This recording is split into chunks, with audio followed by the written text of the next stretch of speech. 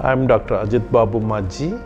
I'm a vitreoretina specialist working at Yashoda Hospital Hitech City branch.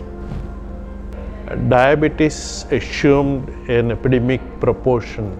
All diabetics stand the risk of developing eye affliction in the form of diabetic retinopathy, that is, the changes of diabetes in the retina.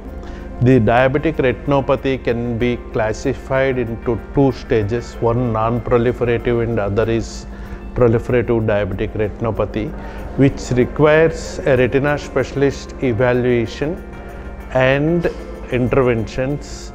Diabetic retinopathy can present as non-proliferative diabetic retinopathy, proliferative diabetic retinopathy and diabetic macular edema. Non-proliferative stage of diabetic retinopathy do not require any clinical interventions but for good control of diabetes and the systemic parameters. However, proliferative diabetic retinopathy, which is marked by the development of neovascularization, requires either laser, injections, or surgery. In the early stages, if laser is done, a good follow-up may save the patient from losing the vision.